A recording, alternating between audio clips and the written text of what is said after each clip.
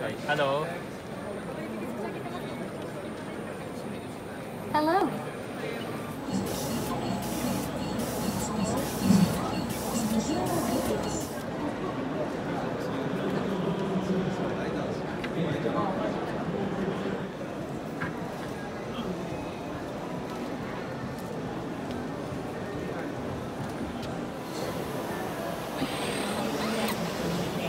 You haven't got the uh, chance to see so many type of robot with different shape and you are here in this kind of terms like industrial robot, service robot, medical robot, humanoid robot.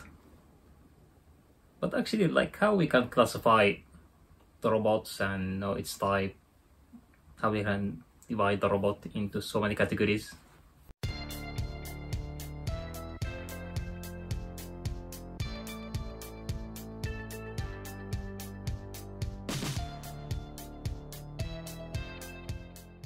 Hello everyone, my name is Ayman Omar. I am a robotic uh, researcher and consultant. I'm the CEO, CEO and founder of WinRoad RTS, robotic consulting company based in Tokyo, Japan.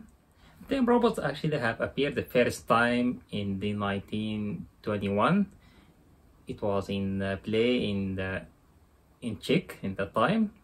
So they display those kind of uh, human that they say is a machine that obey the human orders, and after that they maybe like they can do some task.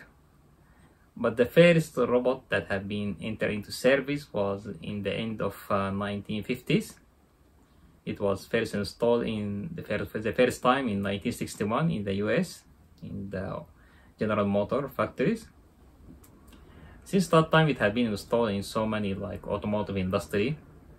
So that's why like the robot have been in this shape which is like an arm and mostly like uh, but after that there have been a different type of robot have been developed like a mobile robot have been installed like there have been a research in like using robot for medical application. So because of those kind of classification they have been split into so many names. So how they can be classified and how we can classify robots type Based on the International Foundation for Robot, they classify robot into two categories, either like industrial robot, which is the famous one, mostly in the form of an arm that is being used for industrial application, and all other one that not used for industrial application called service robot. So in those one, we can find like those medical robot, clean robot, also logistic robot, interim robot, also we have defense robot. All those kind of categories are being classified under uh, service robot. But if you are want to study robots in uh, robotics in university, you will not find like uh, you will study something like a link and a joint and those those kind of things. So mostly those things it could be used. It could be a, a presentation for a, a, robot used in industrial application. It also could be used for the same robot for medic medical application. So if you go to the industrial, so that's why like the first classification as industrial and non-industrial is being used as from the point of view of application. So based on the application, we can categorize robot as the application. So it becomes like industrial robot or service robot. Under the service robot becomes all those kind of categories of medical robot and also like uh, clean robot, rescue robot, and terrain robot, and so many so many others. But if you if you want to classify robotics, robot in terms of the theoretical point of view, it mostly have to classify into two categories. First is fixed robot. Fixed robot is have a fixed base, so all the joint are linked to one base. But if it's like the other robot that is moving, is become a mobile robot. So either you have fixed or mobile. Of course, mostly when you study, you study fixed um, fixed robot that's the one generally being used because it was the first robot was a fixed robot. That's why it becomes the first category is fixed robot. Under even fixed robot we have two categories. You have serial, serial manipulator or parallel manipulator. So mostly like serial manipulator is the one widely used which is have like all the links. You have a link a join then a link a join and so on. So until the end effector but in terms of uh, parallel mechanism, or parallel robot. Mostly in that case, you have two links are connected together and they all end at one point. This becomes a parallel mechanism. So there are a lot of fixed uh, robot use a parallel mechanism.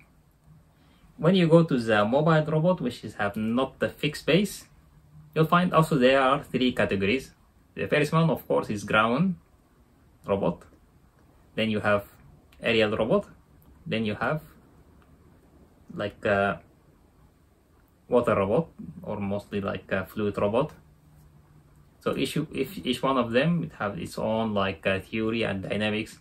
So when you go to the mobile robot, there are actually also other categories. Either you have legged robot, you can have a wheeled robot or track robot.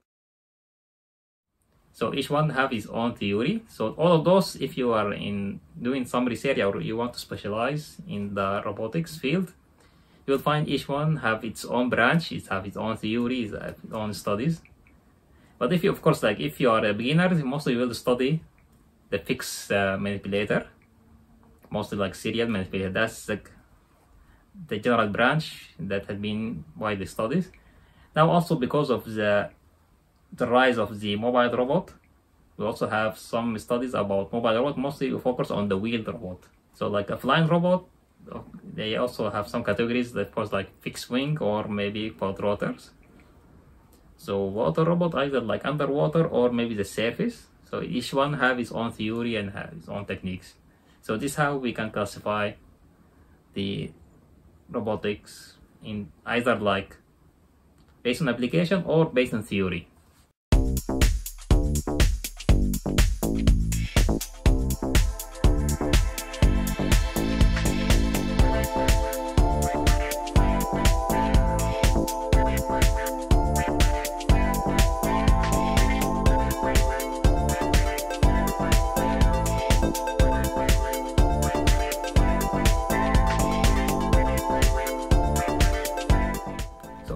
have benefit from today's talk. So until I see you again, thank you for watching.